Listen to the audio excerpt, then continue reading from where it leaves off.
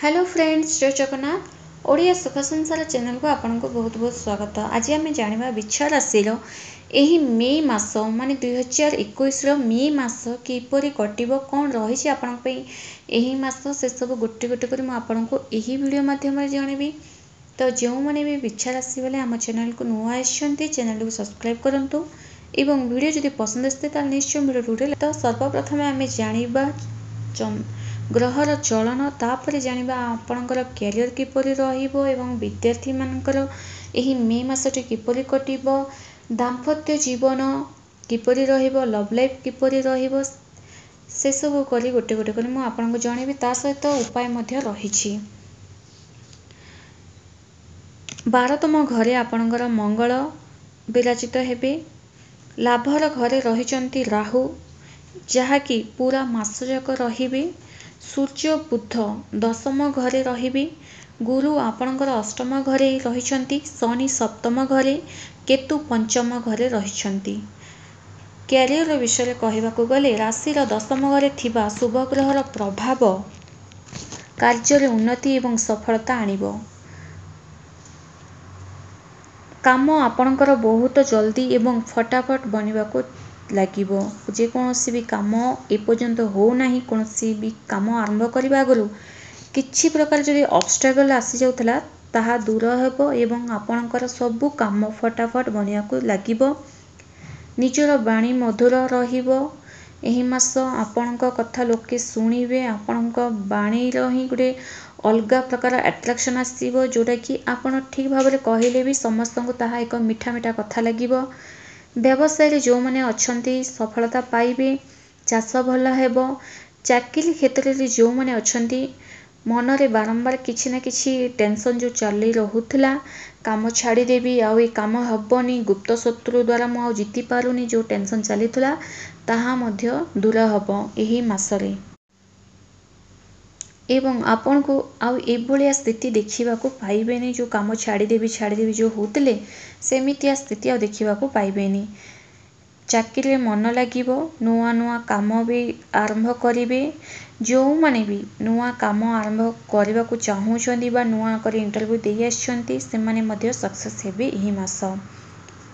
ଆର୍ଥିକ ସ୍ଥିତିର କଥା କହିବାକୁ ଗଲେ ଦ୍ୱିତୀୟ ଘରେ ଶୁଭ ଘରର ସ୍ଥିତି ରହିଛି ବିଦେଶରୁ ଧନ ଲାଭ ରହିଛି ଏବଂ ଯେଉଁମାନେ ବି ବିଦେଶରେ ଆପଣଙ୍କ ରିଲେଟିଭ୍ ବି ଯିଏ ବି ଅଛନ୍ତି ବିଦେଶରେ ତାଙ୍କ ମାଧ୍ୟମ ଦ୍ୱାରା ବି ଆପଣଙ୍କର ଏକ ଧନ ଲାଭ ରହିଛି। ଆପଣ ଏହି ମାସ ମାନେ ମେ ମାସରେ ଗୋଟେରୁ ଅଧିକ କାମ କରିକି ଧନର ଲାଭ କରିବେ ଏବଂ ଆପଣ ନିଜ ଗାଡ଼ି ବାହନ ଭୂମି କିଣିବେ ନିଜ ଟଙ୍କାରେ ହିଁ ଶିକ୍ଷାର୍ଥୀମାନଙ୍କ କଥା କହିବାକୁ ଗଲେ ପଞ୍ଚମ ଘରେ ଶିକ୍ଷା ସହ କନେକ୍ଟ ଥାଏ ମଧ୍ୟମ ଧରଣର ରହିଛି ଆପଣଙ୍କର ଶିକ୍ଷା କାହିଁକି ମଧ୍ୟମ ଧରଣର ରହିଛି ନା? କେତେଟା ଗ୍ରହମାନଙ୍କର ସ୍ଥିତି ଯୋଗୁଁ ଆପଣଙ୍କ ବିଦ୍ୟାରେ କିଛି ହାନି ଦେଖାଇପାରେ ତେଣୁ ଏହା ମଧ୍ୟମ ଧରଣର ରହିଛି। ତେଣୁ ଆପଣଙ୍କୁ କ'ଣ କରିବାକୁ ପଡ଼ିବ ନା? ପରିଶ୍ରମ କରିଚାଲନ୍ତୁ ଯେତେ ଏବେ ପରିଶ୍ରମ କରିଛନ୍ତି ସେହି ପରିଶ୍ରମ ଦ୍ୱିଗୁଣା କରିଚାଲନ୍ତୁ ସଫଳତା ଆପଣଙ୍କ ହାତରେ ନିଶ୍ଚୟ ଲାଗିବ। ଟିକେ ଟିକେ ମନରେ ଟେନସନ୍ ଲାଗି ଆସିବ ଯେଉଁଦ୍ୱାରା କି ବିଦ୍ୟାର୍ଥୀକୁ ନେଇ କାରଣ ଗ୍ରହମାନଙ୍କର ସ୍ଥିତି ଇଆଡ଼େ ସିଆଡ଼େ ହେବା ଯୋଗୁଁ ଆପଣଙ୍କୁ ଏପରି କିଛି ଲାଗିପାରେ। ଲଭ୍ ଲାଇଫ୍ର କଥା କହିବାକୁ ଗଲେ ଯଦି ମାନେ କିଛି କଳହ ସୃଷ୍ଟି ହୋଇଥିଲା ଲଭ୍ ଭିତରେ ତ ତାହା ଦୂର ହେବ ଭଲ ଅଣ୍ଡରଷ୍ଟାଣ୍ଡିଂ ରହିଛି ଏବଂ ଦୁଇ ଜଣଙ୍କ ଭିତରେ ପ୍ରେମ ବଢ଼ିବ ଏବଂ ଦୁଇ ଜଣ ଦୁଇ ଜଣଙ୍କୁ ହୁଏତ ବିବାହ ବନ୍ଧନରେ ମଧ୍ୟ ବାନ୍ଧି ହୋଇପାରନ୍ତି। ବୈବାହିକ ଜୀବନ କଥା କହିବାକୁ ଗଲେ ରାଶିର ସପ୍ତମ ଘରେ ଶନିଙ୍କର ପ୍ରଭାବ ଚାଲିଛି।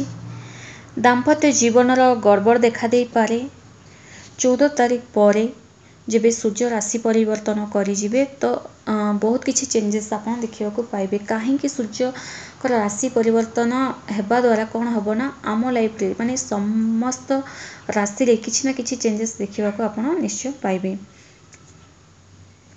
କେମିତି ଦାମ୍ପତ୍ୟ ଜୀବନକୁ ଠିକ୍ ଭାବରେ କରିବେ ନା ଅନାବନା କଥା କହି ଘରେ କିଛି କଳହ ସୃଷ୍ଟି କରନ୍ତୁ ନାହିଁ। ଆପଣ ଜାଣିପାରିଥିବେ କି ଆପଣଙ୍କ ପାର୍ଟନରକୁ ଏ କଥା ପସନ୍ଦ ନଥିବ। ଆପଣ ଜାଣିଶୁଣି ସେ କଥା କହି କିମ୍ବା ସେ କଥା ଉଠେଇକି ଅନାବନା କଥା ଯେଉଁଟାକି ଆପଣଙ୍କୁ ସେଥିରେ କିଛି ବି ଲାଭ ହେବନି ସେମିତିଆ କଥା ଉଠେଇକି ମନ ଖରାପ କରନ୍ତୁ ନାହିଁ କିମ୍ବା କୌଣସି ପ୍ରକାର ଆର୍ଗୁମେଣ୍ଟ ବି କରନ୍ତୁ ନାହିଁ। ଯଦି ଆପଣ ସିଙ୍ଗିଲ୍ ଅଛନ୍ତି ତ ବିବାହ ଠିକ୍ ହେଇପାରେ ଆପଣଙ୍କର। ସ୍ୱାସ୍ଥ୍ୟର କଥା କହିବାକୁ ଗଲେ ପନ୍ଦର ମେ ଯାଏଁ ଭଲ ରହିଛି ତାପରେ ସାବଧାନ ସହ ଟିକେ ଗାଡ଼ି ଚଲାନ୍ତୁ।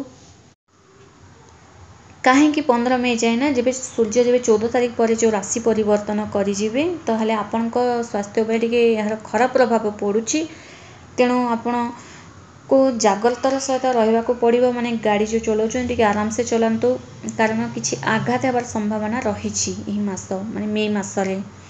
କୌଣସି ବି କାମ ଆପଣ ହଡ଼ବଡ଼େଇକିନା କରନ୍ତୁ ନାହିଁ ତରବର ତରବର ହେଇକିନା ଘରୁ ବାହାରନ୍ତୁ ନାହିଁ। ଯଦି ଯିବାର ଅଛି ତ ମାନେ ଟିକେ ଆଗରୁ ଉଠନ୍ତୁ ଟିକେ ଜଲ୍ଦି ଅଫିସ୍ ଯଦି ଯିବାର ଅଛି ଟିକେ ଜଲ୍ଦି ଉଠିକି ନିଜ କାମ ସାରନ୍ତୁ ରେଡ଼ି ହୁଅନ୍ତୁ। ଏମିତି ମାନେ ଲେଟ୍ରେ ଉଠିବେ ସକାଳୁ ଉଠିଲା ମାତ୍ରେ ହଡ଼ବଡ଼େଇ ହଡ଼ବଡ଼େଇକିନା ଏମିତି କିଛି ବି କାମ କରିଦିଅନ୍ତୁ ନାହିଁ। କାରଣ ଆଘାତ ହେବାର ସମ୍ଭାବନା ଅଛି ଜାଗ୍ରତର ସହ ରୁହନ୍ତୁ। କ'ଣ କରିବେ? ଯେଉଁ ଆପଣଙ୍କ ସହିତ ସବୁ କିଛି ଭଲ ହିଁ ହେଉ ବିଛା ରାଶି ଗଲେ କ'ଣ ଏମିତି କରିବି? କୌଣସି ପ୍ରକାର ଅସୁବିଧା ନ ହେଉ ସବୁ କିଛି ଭଲ ହେଉ। କ'ଣ କରିବାକୁ ପଡ଼ିବ ନା? ପ୍ରତ୍ୟେକ ମଙ୍ଗଳବାର ହନୁମାନ ମନ୍ଦିର ଯାଆନ୍ତୁ। ପ୍ରତ୍ୟେକ ମଙ୍ଗଳବାର ଦିନ ଆପଣ ଯେବେ ହନୁମାନ ମନ୍ଦିର ଯିବେ ଆପଣଙ୍କ ଜୀବନରେ ଆସୁଥିବା ବାଧା ବିଘ୍ନ ସବୁ କିଛି ଦୂର ହେବ। ହନୁମାନ ଚାଳିଶା ପଢ଼ିବାଟା ଆରମ୍ଭ କରନ୍ତୁ ଏବଂ ହନୁମାନଙ୍କ ପାଖରେ ତେଲର ଦୀପ ଜାଳନ୍ତୁ ହନୁମାନଙ୍କୁ ସ୍ମରଣ କରନ୍ତୁ। ଆଶା କରୁଛି ବିଛା ରାଶି ହେଲେ ଆପଣଙ୍କୁ এই ଭିଡ଼ିଓଟି ଭଲ ଲାଗିଥିବ। ଯଦି ଭଲ ଲାଗିଥାଏ ତାହେଲେ ନିଶ୍ଚୟ ଭିଡ଼ିଓଟି ଗୋଟେ ଲାଇକ୍ ସହ ଆମ ଚ୍ୟାନେଲ୍ ଯଦି ନୂଆ ଆସିଛନ୍ତି ସବସ୍କ୍ରାଇବ୍ କରନ୍ତୁ। ରହୁଛି ନମସ୍କାର। ଜୟ ଜଗନ୍ନାଥ।